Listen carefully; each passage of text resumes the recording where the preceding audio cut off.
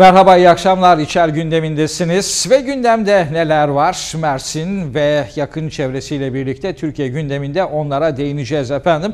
Son saatlerde yaşanan bir gelişme var. O konuda bilgi aktarayım. Ee, AK Parti Grup Başkan Vekili Özlem Zengin öncülüğündeki bir grup AK Parti, Milliyetçi Hareket Partisi ve Büyük Birlik Partili 336 milletvekilinin imzaladığı başörtüsü için anayasa teklifini Türkiye Büyük Millet Meclisi'ne götürdü.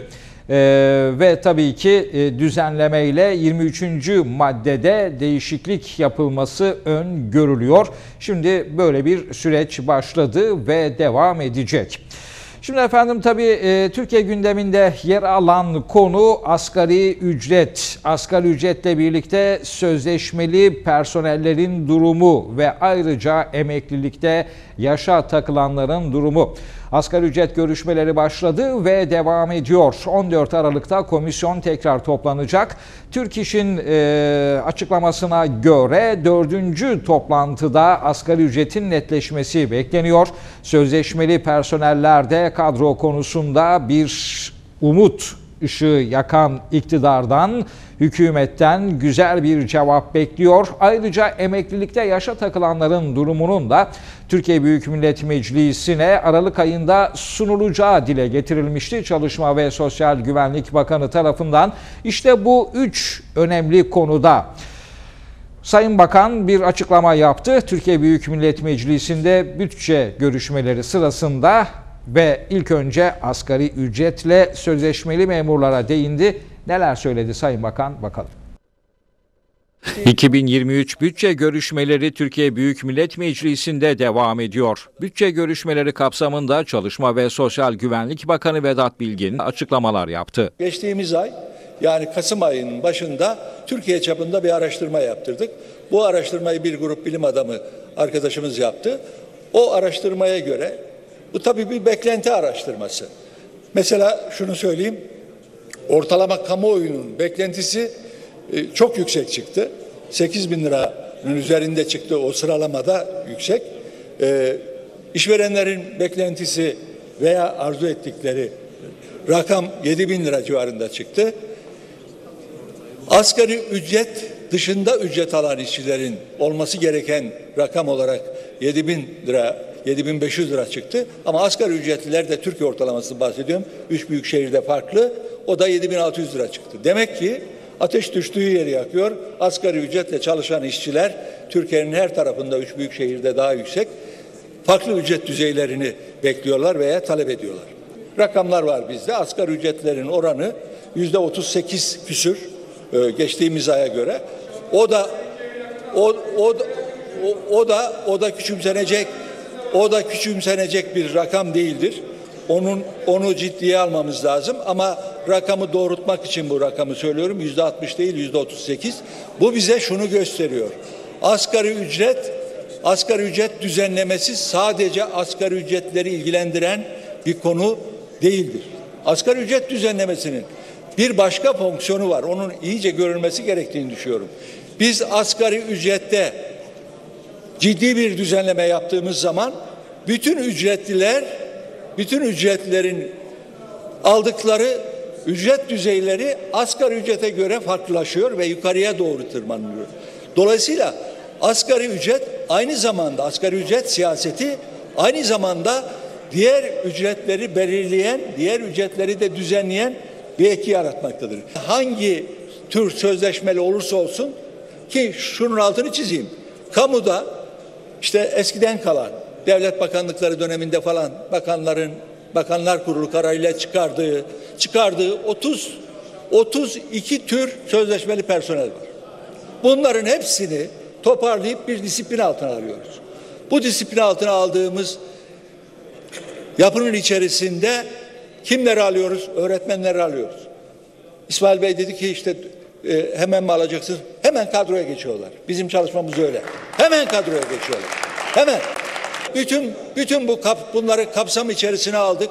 Yaklaşık yaklaşık 500 bine ulaşacak bir sayı şu anda gündemde. Bu sayı bu çalışmamızı bu çalışmamız teknik olarak bitti. Bu çalışmayı zaten biz teknik kısmını yapıyoruz. İrade Millet Meclisi'nin iradesidir. Milletvekillerimizin bu konudaki çalışmalara destek vereceklerine inanıyorum. Bu çalışmanın reform niteliğinde bir çalışma olduğunu altını çizmek isterim. Çalışma ve Sosyal Güvenlik Bakanı Vedat Bilgin EYT'liler konusunda da açıklama yaptı. Yine mecliste şunları söyledi. Beni arayan gazeteci tanıdıklarım, beni arayan doğrudan doğruya EYT ile EYT'li olan, kendilerini öyle tanımlayan e, yurttaşlarımız hep şu soruyu soruyorlar. EYT meselesi ne olacak? Niye uzadı? Uzamasının uzamasının birkaç sebebini size söyleyeyim. Bir defa herkesi dinlemek zorundayız. Herkesi dinliyoruz. En son odaları dinlemeye başladık. Çünkü meselenin bir boyutu bildiğiniz gibi iş adamlarının kıdem tazminatına. Şimdi bu mesele öncelikle hep bizim açımızdan, devlet açısından ele alınan bir konuydu. Fakat doğrudan doğru işverenleri ilgilendiriyor. İşveren diyor ki benim çalışanlarımın üstelik de kıdemli, tecrübeli, e, şeyi iş, iş tecrübesi ve becerisi gelişmiş adamlar yaklaşık işletme, işletmelerde yüzde on beş, yüzde on, en düşüğü yüzde on. Büyük işletmelerde daha fazla. Biz bunları kaybetmek istemeyiz. Ama bir de bize mali yükü var. Bunu nasıl yapacağız? Bu süreci nasıl yöneteceksiniz? Giderek öyle talepler geliyor ki işte tartışılan kamuoyunda tartışılan şeyler herhalde bunlarla ilgili duyumlar. Başka başka tekliflerde bulunanlar işte şunu öteleyin diyenler, bunu öteleyin diyenler oluyor. Biz de bizim bir de bizim çalışmanın teknik yönüyle ilgili problemler var. Nedir? Biliyorsunuz bu 99 8 Eylül öncesi çalışanlar işe girenleri e, onları kapsıyor. Fakat o zaman henüz bizde dijital ortamda bu kayıt sistemleri yok. Bunların büyük bir çoğunluğu iş değiştirmiş, evrakları kaybolmuş veya evrakları bulunamıyor. Biz bütün bunları organize etmeye çalışıyoruz. Kapsamını tam anlamıyla ulaştığımız zaman ki ben bu ayın sonuna kadar meclise getireceğimi söylemiştim. İnşallah sözümü tutarım Ocak ayına sarkmaz. Bütün bu çalışmaları tamamladığımız zaman, tamamladığımız zaman gerçek boyutları ortaya çıktığı zaman Yüce Meclis'te bunu paylaşacağım. Onun için şunu söyleyeyim ki en kapsamlı düzenlemeyi yapacağımızdan kimsenin endişe endişesi olmasın. Dolayısıyla bu kapsamın genişlemesi biliyorsunuz biliyorsunuz biliyorsunuz burada burada burada temel kriterler üç tane kriter var mevcut emeklilik sisteminde bunları bugün şeyde de komisyonda da söyledim. Bugün yaş şartı olmasaydı Haziran ayına göre ne kadar insan emekli olabilirdi onu açıklamıştım. 1 milyon 500 küsür 600 bine yakındı. Bugün bu sayı biraz daha yükselmiş bulunuyor. Ocak ayında biraz daha yükselecek. Dolayısıyla ama dediğim gibi biz bütün verileri ele, elimize alıp gerçekçi bir çalışma yapmamız lazım. Evet gündemde yer alan diğer bir konu da Hiranur Vakfı kurucusu Gümüşel'in bir kızını 6 yaşındayken yıllar önce 29 yaşında olan bir kişiyle evlendirmesi. Tabii bu olayın yankıları, bu olayın e, toplumda meydana getirdiği e, tartışma, ortaya çıkardığı durum tartışılıyor sosyal medyada ve birçok kişi e, bu konuyla ilgili fikirlerini dile getiriyor efendim.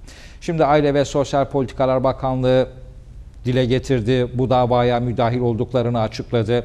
Bununla birlikte e, mecliste grubu bulunan, bulunmayan partilerin yöneticileri, önemli isimleri, sivil toplum kuruluşlarının temsilcileri, toplumda sevilen, sayılan kanaat önderleri, bununla birlikte e, cemaatler ve tarikatlar e, çerçevesinde yine tanınan, bilinen isimler e, bu konuyla ilgili görüşlerini dile getirdiler.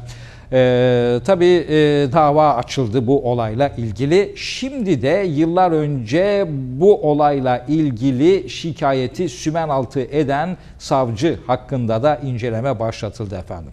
Şimdi olay şöyle, e, kimi kaynaklara göre şu anda e, 22 yaşında, Kimi kaynaklara göre 24 yaşında, kimi kaynaklara göre de e, bugün 26 yaşında olan HKG. Bu e, kadın Hiranur Vakfı kurucusu Yusuf Ziya Gümüşel'in kızı. Ve e, HKG yıllar önce değerli seyirciler e, gidiyor, şikayetçi oluyor. Babasının kendisini 6 yaşında e, bir kişiyle 6 yaşındayken kendisi 29 e, yaşındaki bir erkekle e, babasının kendisini, ailesinin kendisini evlendirdiği ve yıllarca cinsel istismara ve tacize maruz kaldığı konusunda şikayetçi oluyor. Tabii şikayetçi oluyor ama e, bu konuya bakan, bu olaya bakan, bu şikayete bakan savcı herhangi bir işlem başlatmıyor. Ve bu şikayet sümen altı oluyor denilebilir. Tabii e, bu haberi bir gün gazetesinden bir gazeteci gündeme getirince kamuoyunun tekrar haberi oldu ve konu tekrar gündeme geldi. Tabii bunun e, sonucunda e, yaşananlar birçok televizyon kanalında, gazetede, internet sitelerinde ayrıntılarıyla dile getirildi. Şimdi aile bunu kabul etmedi. E, o kadının HKG'nin üç kardeşi, bir erkek üç kardeşi sosyal medya hesaplarından bir video yayınladılar ve e, gerçeği yansıtmadığını dile getirdiler. Hatta e, baba konumundaki Yusuf Ziya Gümüşel de e, direkt kabul etmese de bu açıklamaları doğru kabul etmediğini, bu açıklamaların kızının açıklamalarının doğru olmadığını e, belirten, ortaya koyan cümlelerle bu durumu e, kabul etmediğini dile getirdi. Şimdi tabii ama e, kız mahkemeye, HKG de mahkemeye bazı ses kayıtlarını delil olarak sunmuş. E, yani şikayetçi olacağı zaman, şikayetçi olacağı zaman kendisini haklı çıkartabilecek kocası konumundaki Kadir İstekli isimli kişiyle geçmişe yani 6 yaşındayken evlendirildiğine yönelik bazı konuşmaları, geçmişi konuşmalarını e, geçmişe yönelik konuşmalarının ses kaydını mahkemeye sunuyor. Tabi bu da delil olarak büyük ihtimalle kabul edilecek. Tabi edilmiş olacak ki soruşturma başlatıldı. Şimdi savcılık Yusuf Ziya Gümüşel, e, Hiranur Vakfı'nın kurucusu.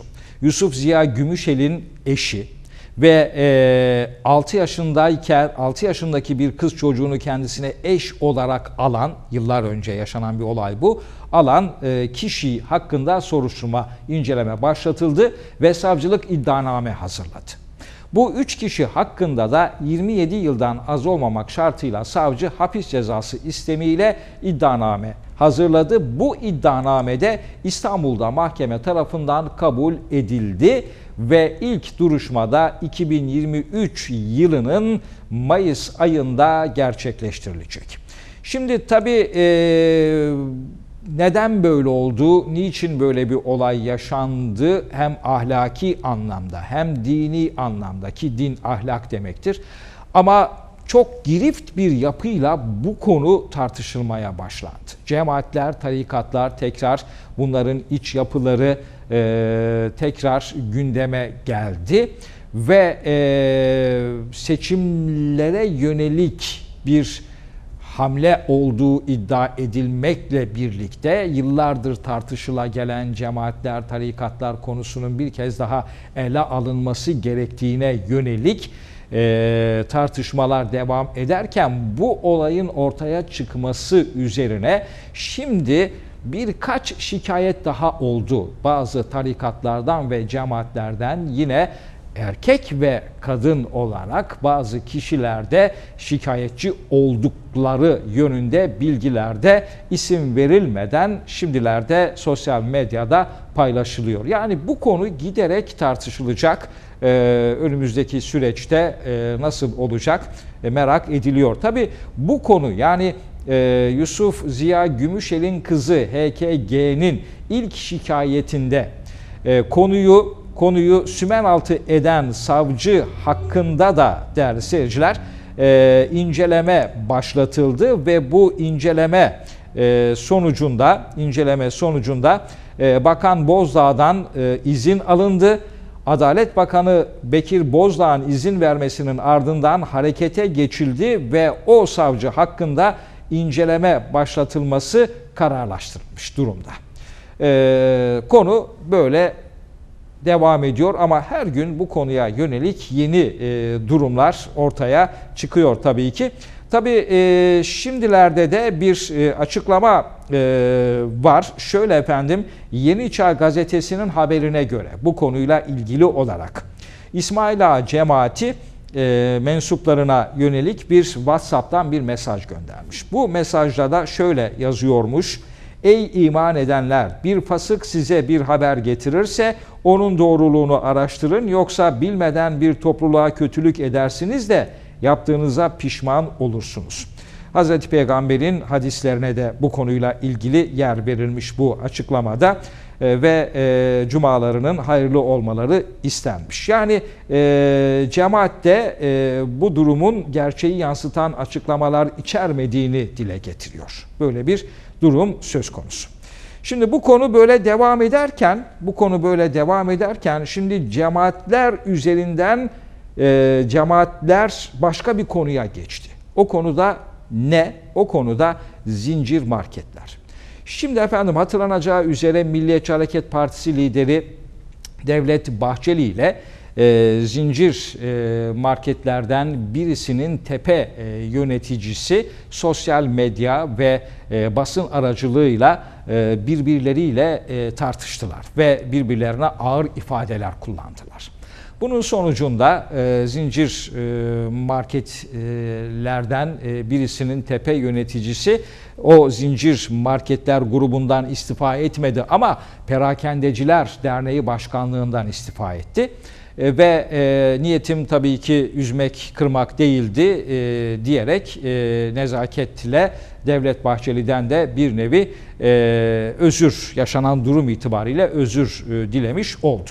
Tabii bu tartışma devam etti, devam etti. Ee, ve ülke genelinde zincir marketlere yönelik öteden beri devam eden, pandemiden sonra devam eden e, fahiş fiyat konusundaki denetimler, raf fiyatıyla kasa fiyatı arasındaki uçurumu e, veya var mı yok mu bunu denetleyen o marketlerin e, sağlıklı ve hijyenik ürünler satıp satmadığını denetleyen e, denetimler devam etti. Ama bu tartışmayla bu denetimler daha da sıkılaştırıldı ve özellikle Sayın Bahçeli ile tartışmaya giren yöneticinin e, yönettiği zincir marketin şubeleri daha fazla denetlenerek e, hatta en küçük bir eksiklik bulunduğunda kapatma işlemi uygulandı. Şimdiye kadar Ağrı'da ondan fazla zincir market şubesi kapatılmakla birlikte Mersin'de de Toroslar ilçesinde Toroslar Belediyesi'nin e, eksik evrak nedeniyle e, bir e, zincir market şubesini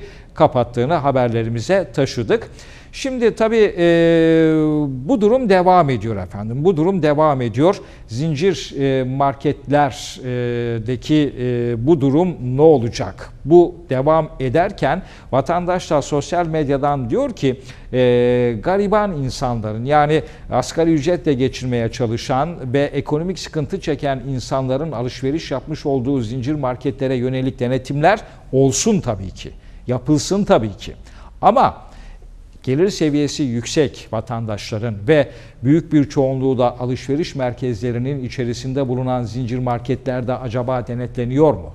Gariban insanların, ekonomik sıkıntıda bulunan insanların e, marketlerin için sadece denetleniyor şeklinde de soruları soruyorlar. Şimdi efendim bu tartışma devam ederken e, o zincir marketin e, kurucusu, kurucusu değerli seyirciler, Hemen e, kurucusu Erenköy cemaatinin lideri Osman Nuri Topbaş da bu konuyla ilgili açıklama yaptı. Şimdi e, tabi Osman Nuri Topbaş'a yaşanan ve ortaya çıkan bu durum sorulduğunda kendisi e, yapmış olduğu açıklamada bu tartışmaların bir an evvel nihayete ermesi ve art niyetlilerin ıslahı için dua ettiğimizi saygılarımızla arz ederiz cümlesini kuruyor e, kendileri. Ve şimdi işte cemaatte bu durum ortaya çıktı. Sosyal bir e, konu.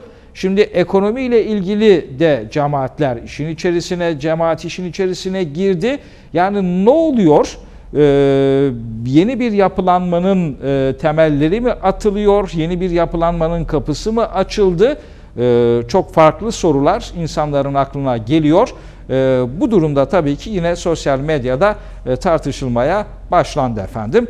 Ee, ama öyle gözüküyor ki bu seçim sürecinde seçimlere yaklaştıkça e, daha fazla belki İnşallah olmaz ama ızdırap çekeceğiz, üzüleceğiz. Yani bizi üzecek haberlerle karşılaşabiliriz. Bizi sevindirecek haberlerle de karşılaşabiliriz. Bizi şaşırtacak haberlerle de karşılaşabiliriz. Bunların sayısı da çok fazla olabilir önümüzdeki haftalarda, aylarda diyelim. Şimdi devam edelim efendim, devam edelim. Ee, nereye geleceğiz? Ee, Mersin'e gelelim efendim. Mersin'le devam edelim. Şimdi Akdeniz Belediye Meclisi bugün toplantı. Akdeniz Belediye Meclisi'nde de Belediye Başkanı Mustafa Gültak, e, belediyenin kendisinin görev yaptığı süreç içerisindeki asfaltlama, yol, kaldırım, bordür çalışmalarıyla ilgili rakamsal değerleri meclis üyeleriyle ve kamuoyuyla paylaştı. Akdeniz Belediye Meclisi Aralık ayı ikinci toplantısı Belediye Başkanı Mustafa Gültak yönetiminde gerçekleştirildi. Yoklama, saygı duruşu ve İstiklal Marşı ile başlayan toplantıda bir önceki birleşime ait tutanak özeti kabul edildi. Bu ayın ilk meclisinde üyelerin sorularıyla gündeme gelmesi üzerine Başkan Gültak, Akdeniz'e kazandırılan sıcak ve soğuk asfalt plant tesisi ve asfalt serimi, yol ve kaldırım çalışmaları hakkında kısa film eşliğinde meclis üyelerine sunum yaptı. 65 mahallemiz ve yaklaşık olarak 7 bin sokağımız bulunmaktadır. Toplam yol ağı uzunluğumuz 8-12 kilometre. Asfalt olan yollarımızın uzunluğu 183 kilometre. Kilit parke taşı kaplı olan yol uzunluğumuz 85 kilometre. Stabilize olan yol uzunluğumuz 205 kilometre. Tesviye edilmiş ve düzeltilmiş yollarımızın uzunluğu 152 kilometre. Ham işlenmemiş ve düzenlenmemiş olan yollarımızın uzunluğu da 187 kilometredir. 2019 yılından bu yana yapılan asfalt çalışmalarımızın yol uzunluğu yaklaşık olarak 80 kilometredir. 2019 yılından bu yana yapılan kilit taşı çalışmalarımız yol uzunluğu yaklaşık 33 kilometredir. 2019 yılından bu yana kadar kaldırım, karo çalışmaları yol uzunluğu yaklaşık 36 kilometredir. 2019 yılından bu yana kadar yapılan kaldırım, boydur taşı döşeme çalışmalarımızın yol uzunluğu 87 kilometredir. 2019 yılına geldiğimizde 37.919 ton asfalt, 16.486 küsür metrekare kilit taşı, 29.035 küsür metrekare karo kaplama, 29.824 metre tül bordür ve vaş beton olarak da rakamları görüyorsunuz. 2020 yılında geldiğimizde 25.103 ton asfalt, 29.292 metrekare kilit taşı, 27.510 metrekare karo kaplama ve bordürde 30.845 metre tüp. 2021 yılına geldiğimizde 13 küsür ton asfalt, 25 bin küsür metrekare kilit taşı, 5 bin küsür metrekare karo kaplama, bordür olarak da 13 bin küsür metre tüp olarak görülmektedir. 2022 yılı bitmedi, şu an devam ediyor. Son rakamlar olarak da asfalt 11.2 ton, kilit taşı 28 bin küsür metrekare, kara kaplama 8100 metrekare, bordurda 12.500 metre tül olarak önümüze gelmektedir. Sonuç olarak yaklaşık 3,5 yılda toplam 91 bin küsür ton asfalt ve yama çalışmaları yapılmıştır. Yaklaşık 3,5 yılda toplamda 98.873.53 metrekare kilit parke taşı döşenmiştir. Aynı zamanda 71.512 metrekare kaldırım kara döşemesi yapılmıştır ve 86.792 metre tül de bordür döşemesi gerçekleşmiştir kendi dönemimizde.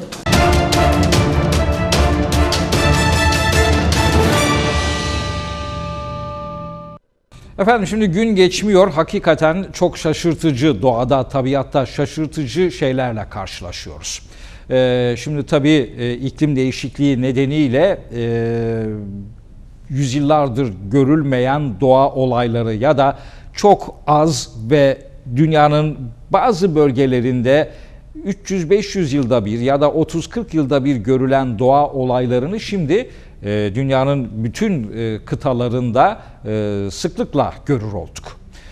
Ekstrem doğa olayları yaşanıyor. Bununla birlikte hayvanlarda tuhaf şeyler ortaya çıkıyor. İşte Moğolistan'da koyunların e, günlerce bir çember etrafında dönmesi, hindilerin dönmesi, sonra koyunların dönmesinin Arjantin'de, Şili'de ortaya çıkması, Meksika'da ortaya çıkması, e, Güney Afrika Cumhuriyeti'nde ortaya çıkması, Gana'da ortaya çıkması, kargaların e, bir caddeyi istila etmesi e, ve orada korku uyandıracak şekilde seslerinin çıkması, Çin'de, Avrupa'da, Amsterdam'da bu tür olayların olması insanları şaşırtıyor. Şimdi tabii e, bazı hayvanlar da doğası dışında davranmaya başlıyor. Bunlardan biri de domuz. Acaba domuz avlanır mı? Yani domuz bir başka canlıyı avlar mı? Bunu bilmiyorduk. Belki de doğasında vardır, yapısında vardır. Şimdi tabii e, domuzlar tüm Türkiye'de hatta tüm dünyada e, vahşi e, doğada e, yaşayan domuzlar mahallelere, kasabalara hatta kent merkezlerine bile inmeye başladılar. Pandemi sürecinde e, diğer e, küçük tilki, çakal gibi hayvanlarla birlikte. Şimdi Erdemli'de de Ayaş'ta domuzlar mahalleye indi. Mahallede güpe gündüz dolaşıyor caddede ve sokaklarda. Üstelik de domuzlar bir kümese saldırdı. Bir domuz da bir tavuğu avladı, aldı, kaçırdı. Bütün bu görüntülerde tesadüfen cep telefonu kamerasıyla kaydedildi. Vatandaş da korkuyor. Domuzlar çocukların arasına giriyor. Okula giden, anaokuluna giden çocukların yanında domuzlar ortaya çıkar. Ya tavuğu kapan domuz çocuğa da zarar verirse diye mahalleli bu duruma bir çözüm bulunmasını istiyor. Mersin'de sahil kesimine yakın yerlerde bahçelere zarar veren domuzlar şimdi de kümeslerdeki tavukları götürmeye başladı. Domuzların bir tavuğu götürme anı kameraya yansıdı. Erdemli Ayaş'ta domuzlar gündüz vakti sokaklara kadar indi.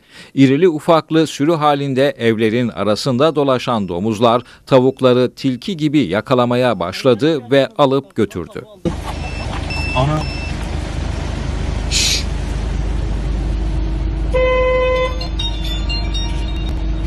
Burada e, tavuklar benim. Domuzlar geliyor buraya sürekli. Sürekli buraya geliyor domuzlar. Geldikten sonra burada çocukların arasına gidiyor. Tavukların arasına gidiyor. Giden tavuk benim tavuk. Beyaz tavuk benim tavuk. Ama gitti bir kere gitti. Buna bir çare bulunmasını istiyorum ben.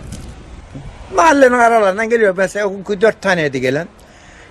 Mahalle arasından geliyor. Mesela buradan geliyor, buradan geliyor. Ne bileyim yan taraftan geliyor. Gelip hepsini alıp gidiyor yani. Burada çocuklara bile saldırıyor bu. Yani bu böyle olmaz yani burada. Dört tane gitti. Daha önce de dört tane gitti. Mesela bizim amcaoğlum var orada. O da gitti. Dört tane gitti. E vursan ceza.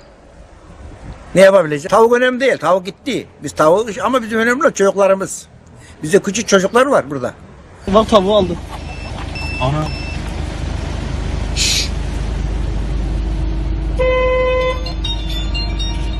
Ee, hani gece olsun, sabah saatlerinde olsun burada hani hayvanlar istila etti burayı. Ee, diyeceğimiz yani bu ne bir yetkililerden falan bize bir yardımcı olursa iyi olur. E, tabii bilemiyoruz çocuğun bile de. Şimdi hayvanlar e, şey var, yasası var. Artık bunu yetkililer ne gerekiyorsa yapması lazım. yani e, burada ne zepse, ne meyve. E, yani kapımız açık bıraksak içeri geçecek. Bahçemize zarar veriyor. Lepçemize zarar veriyor. Teller yıkılıyor, mesela teller giriyor. Hepimiz e, mecburiyetten tel yapmamız gerekiyor. E yine o halde yine geçiyor.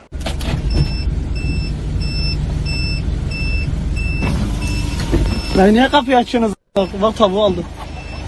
Ana.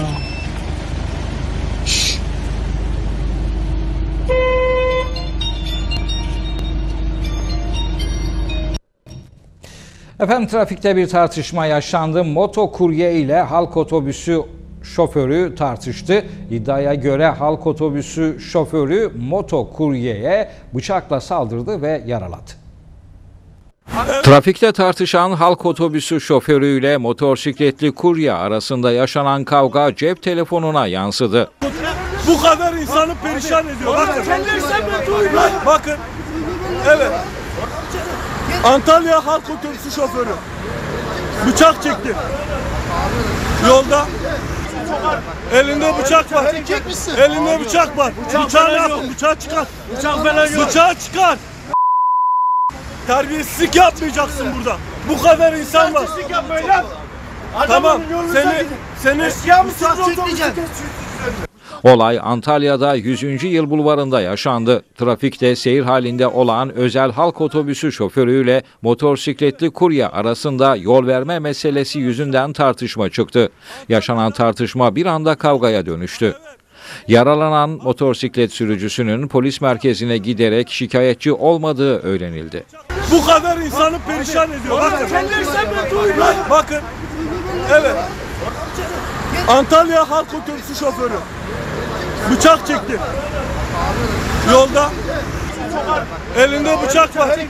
Elinde bıçak var. Bıçağı ne yapın? Bıçağı çıkar. Bıçak falan yok. Bıçağı çıkar. Terbiyesizlik yapmayacaksın burada. Bu kadar insan var. Konuşma lan. Evet. Motorlu kuryeye çarpacaktı. Arkadaşlar. Efendim bahis operasyonu düzenlendi. Yasa dışı internet üzerinden bahis oynatan kişilere yönelik Mersin'de ve Adana'da birçok adrese baskınlar yapıldı ve gözaltılar var. Mersin İl Jandarma Siber Suçlarla Mücadele ekipleri Mersin ve Adana'da 11 kişinin organize olarak internet üzerinden yasa dışı bahis oynatmak suretiyle yüksek miktarlarda haksız kazanç elde ettiklerini belirledi. Mersin Cumhuriyet Başsavcılığı koordinesinde şüphelilerin yakalanması amacıyla eş zamanlı operasyon yapan ekipler 11 kişiyi gözaltına aldı. Şahısların ikametlerinde yapılan aramada yasa dışı bahisten elde edildiği değerlendirilen 10 bin dolar, 62.925 Türk lirası, 28 adet tam altın, bir tabanca ve çok sayıda dijital malzeme ve döküman ele geçirildi. Yakalanan kişiler işlemleri yapılmak üzere Mersin İl Jandarma Komutanlığı'na götürüldü. Yasa dışı silah üreten ve bu silahları pazarlayan kişilerin olduğu tespit edildi ve yine çok sayıda adrese baskınlar yapıldı ve çok sayıda silah ele geçirilirken yine çok sayıda kişi gözaltına alındı. Mersin Emniyet Müdürlüğü Kaçakçılık ve Organize Suçlarla Mücadele Şube Müdürlüğü ekiplerince yürütülen silah ve mühimmat kaçakçılığı suç ve suçlularına yönelik yapılan projeli çalışma kapsamında belirlenen 22 şüpheli kişinin adreslerine baskın yapıldı. Operasyonda şüphelilerin adreslerinde yapılan aramalarda 19 adet tabanca ve 52 fişek ele geçirildi. Ayrıca silah yapımında kullanılan çok sayıda malzeme adreslerde ele geçirildi. Adresleri belirlenen 22 hedef kişiden 17'si yakalanarak gözaltına alındı. Firari 5 kişi yakalama çalışmaları devam ediyor. Mafya tipi suç örgütüne yönelik baskınlar yapıldı ve baskınlarda aralarında polis, bekçi ve gardiyanların da olduğu kişiler gözaltına alındı. Aralarında polis, bekçi ve infaz koruma memurlarının da bulunduğu mafya tipi örgüte yapılan operasyonda 21 kişi yakalandı. Operasyonda gözaltına alınan 21 kişi adliyeye sevk edildi. Kaçakçılık ve Organize Suçlarla Şube Müdürlüğü çıkar amaçlı suç örgütleriyle mücadele çerçevesinde aralarında polis, bekçi ve infaz koruma memurlarının da olduğu mafya tipi örgüte Alanya ilçesinde suç örgütlerine silah temin eden kişilere yönelik baskın yaptı.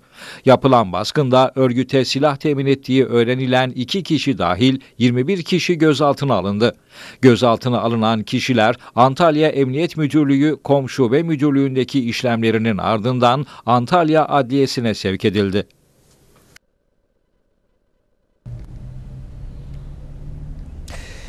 Tarsus ilçesinde defne yaprağı işleme ve paketleme fabrikasında yangın çıktı. Yangın söndürüldü. Olayda maddi hasar oluştu.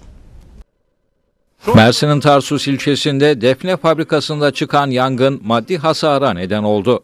Yangın Tarsus Çamlıyayla yolu üzeri Beylice mahallesinde bulunan defne fabrikasında yaşandı. Gece saatlerinde henüz bilinmeyen bir nedenden dolayı TK'nın işlettiği fabrikadan alevler yükselmeye başladı. Haber verilmesi üzerine olay yerine itfaiye ekipleri gönderildi. Ekipler yangını büyümeden kısa sürede kontrol altına alarak yangını söndürdü. Yangında fabrikada maddi hasar oluştu. Erdemli ilçesinde bir sitede yangın çıktı. Dairede ev sahipleri evde yoktu.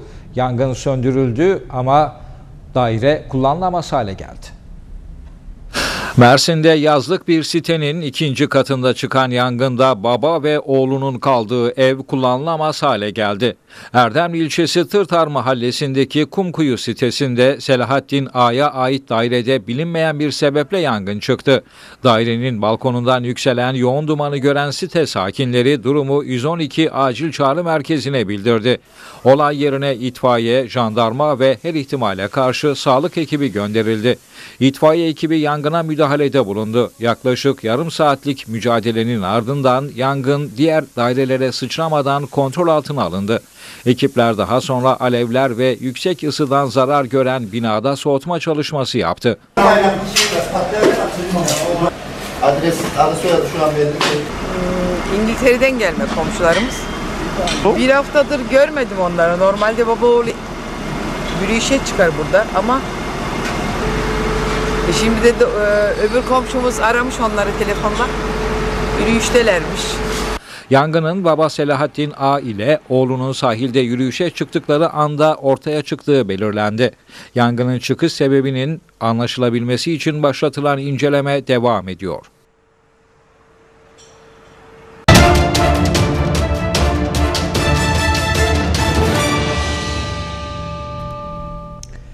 Spor haberleriyle devam ediyoruz.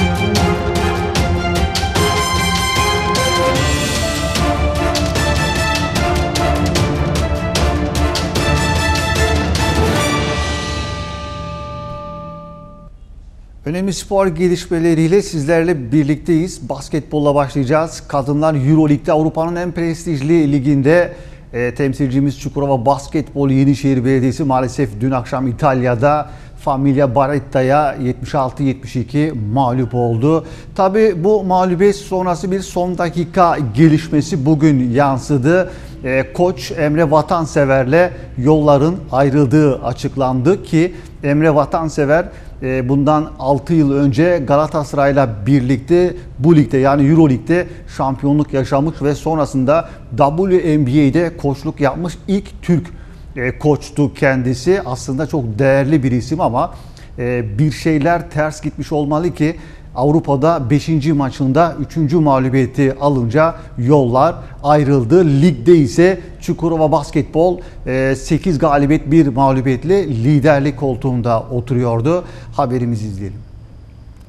Kadınlar Eurolig'inde mücadele eden Mersin temsilcisi Çukurova Basketbol İtalya'da Baretta Famiglia karşısında 76-72 mağlup olarak grupta 3. kez kaybetti.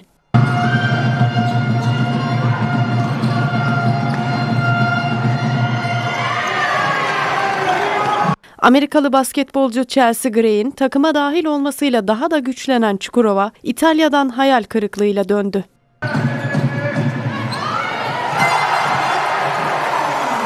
Maçın ilk yarısını 39-34 önde kapatan Çukurova, maçın son anlarında karşılaşma 74-72 Baretta'nın lehineyken attığı eşitlik sayısı hakemlerin süresinin dolması sebebiyle iptal etmesi Çukurova'ya pahalıya patladı.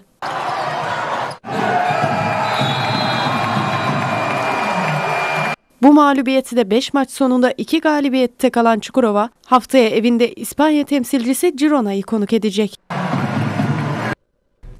Tabii bu karşılaşma sonrasında sosyal medya üzerinde açıkçası acımasızca eleştiriler yapıldı. E, açık konuşmak gerekiyor. Mersin'de e, futbol ayrı bir noktada ama basketbol kültürü ya da bir basketbol tribününü hala oluşturamamışız gibi ya da bir basketbol medyasını maalesef hala e, yani o farklı seviyelere getiremedik gibi görülüyor. Euroleague'de basketbolda bu tarz turnuvalarda önemli olan e, playoff serileridir. Yani şu an normal sezon oynanıyor. Bir de bunu işin e, playoff serisi var, Final Four'u var ve finali var. Bu takım zaten Final Four ve final için kuruldu. E, bu tarz normal sezon maçlarında ister istemez takımlar puan kaybedebiliyor, maçlar kaybedebiliyor. Erkeklerden pay biçelim. Avrupa'nın son iki şampiyonu Anadolu Efes iki sezondur o şampiyon olduğu dönemlerde e, ilk 10 maçına baktığınızda 6-7 kez kaybettiğini görüyoruz. Ya da Fenerbahçe'nin daha önce 5 yıl önce e, da özür diliyorum 4 yıl önce yine Euroleague'de Avrupa şampiyonluğunu yaşadığı dönemde 8 maçını kaybettiğini biliyoruz. E, böyle takımlar genelde playoff maçları öncesinde grup maçlarında çok da fazla kendilerini yormuyorlar. Çünkü hem lig maçları oynuyorlar hem Avrupa maçları oynuyorlar. Zaten yoğun tempoda karşılaşma oynuyorlar. Bu da bir noktada playoff'a doğru yani bu grubun sonuna doğru bir meydan okuma olayına dönüşüyor. E, burada alınan mağlubiyetler çok da yanıltmasın kimseyi. E, acımasızca eleştirilerde gerek yok. Chelsea Gray'in takıma katılmasıyla birlikte hücum e, gücü de arttı takımın. Tabi John Cool Jones ve Fagben'in de ortaya koyduğu performans Çukurova'yı zaten bu turnuvada bir numaralı favori yapıyor. Mağlubiyetler olacaktır. Hani şöyle söyleyelim Avrupa kadın basketbolunda hatta dünya kadın basketbolunda en önemli iki oyuncu John Cool Jones ve e, Chelsea Gray zaten takımın bünyesinde bulunuyor. Bu da e, Çukurova basketbol taraftarına bir mesaj olsun.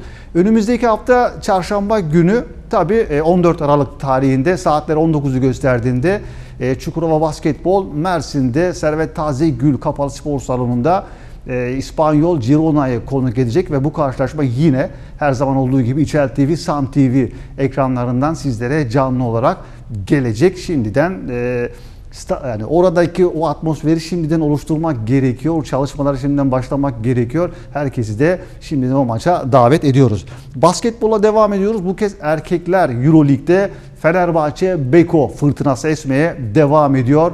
Bu sezona oldukça farklı bir yapılanmayla girmişti. 4 yıl öncesinin Avrupa şampiyonu Yunan koç Itiudis ile birlikte fırtına gibi esmeye devam ediyor.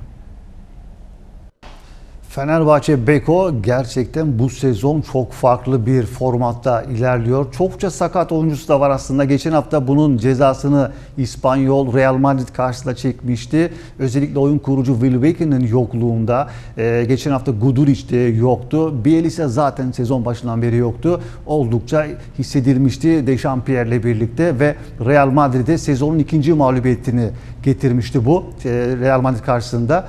E, tabii bu hafta Guduric geri döndü. Wilbeck'in yine sakat maalesef yok. E, ama Fenerbahçe'de oturmuş bir sisteme doğru gidiliyor. Az önce Kadınlar Ligi'nde işte o Çukurova'dan bahsederken işte Fenerbahçe'de yeni bir kadro, yeni bir yapılanmayla yola çıktı ama bunlar zaman alacak. Kademe kademe maç maç üstüne koyarak gidilecek. Bu da biraz zaman isteyen bir durum. Tabii e, Fenerbahçe'de en çok e, konuşulan iki olay Campazzo Fenerbahçe'ye gelir mi? NBA'deki kontratı bittikten sonra eski Real Madrid'li oyuncunun Fenerbahçe ile adı geçiyor ki Will Bacon'ın sakatlığı sonrasında bu transfere sıcak bakılıyor. Sezon başında da Itiudis'in bir açıklaması vardı. E, şartlar onu çok istiyoruz ama şartlar el vermedi demişti. Bu kez şartlar da el veriyor gibi bir Campazzo e, takviyesiyle Fenerbahçe farklı bir boyuta daha gidebilir. Edwards ise gündem olmaya devam ediyor. Ne yapsa yaranamıyor denilen bir oyuncu. Dün takım oyunu e, oynadı, 10 sayı attı ama aslında ondan beklenen daha fazlası taraftarda bu yönde haksız sayılmaz. Şimdi e, ülkemize dönelim, futbola dönelim. Bundan iki hafta önce İzmir'de bir derbi oynanmıştı. Göztepe Altay maçında e, yaşanan olaylar dünya kamuoyuna yansımıştı. Açıkçası ülkemizi çok başka bir boyuta taşımıştı bu görüntüler, yaşanan olaylar. Tutuklamalar söz konusuydu, verilen cezalar vardı. Federasyondan bugün yapılan, özür diliyorum, dün yapılan açıklamada e, Göztepe Altay maçı 22. dakikada yarıda kaldığı için sonrasında ne olacaktı? İşte federasyon bunun cevabını verdi. İki takımı da hükmen mağlup saydı.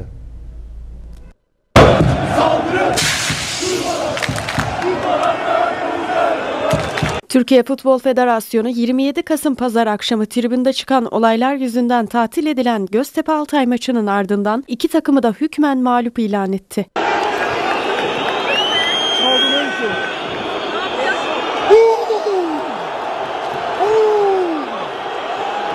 İki takımın puanlarının düşürülüp düşürülmeyeceğine ise Profesyonel Futbol Disiplin Kurulu karar verecek. 27 Kasım tarihinde oynanan Göztepe Altay derbisi, Mehmet Çakır'ın Altay taraftarlarının yer aldığı tribünden ateşlenen işaret fişeğiyle yüzünden ağır yaralanması ve Göztepe'li bir taraftarın söktüğü korner direğini Altay kalecisi Ozan Evrim Özenç'in kafasına defalarca vurarak hastanelik etmesi sebebiyle hakem tarafından tatil edilmişti.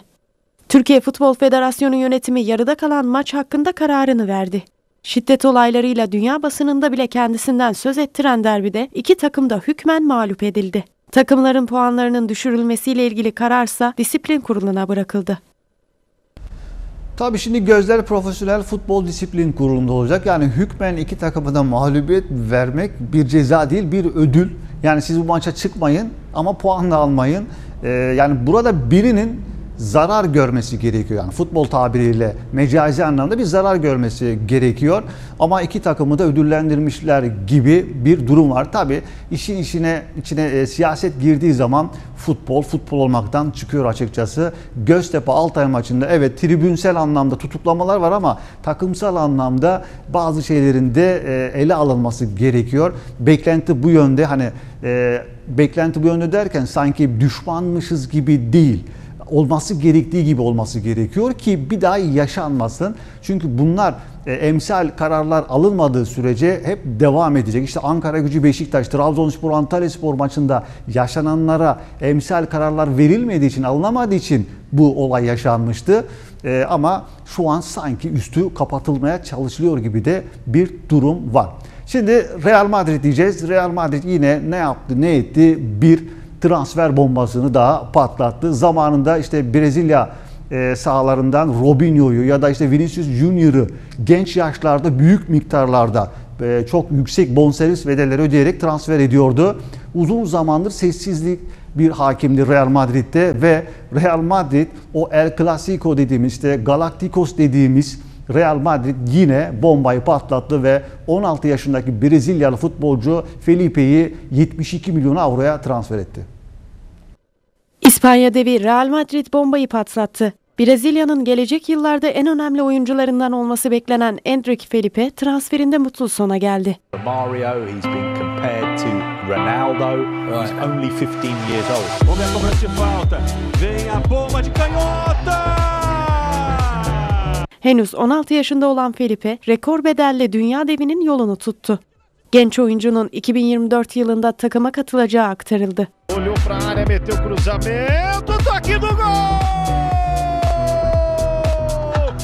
Real Madrid 60 milyon avro ve 12 milyon avro bonuslarla birlikte Palmeiras'a 72 milyon avro ödeyecek. Genç oyuncu Felipe Brezilya Ligi'nde bu sezon çıktığı 7 maçta 3 gol atıp bir de asist yaptı.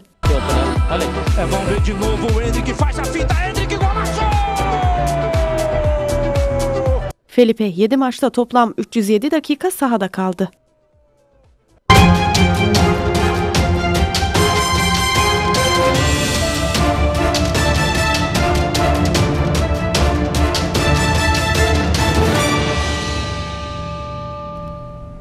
Tabii Felipe çok iyi tanıdığımız bir oyuncu değil. Henüz 16 yaşında 7 yeni ismi duyulmaya başlanmıştı.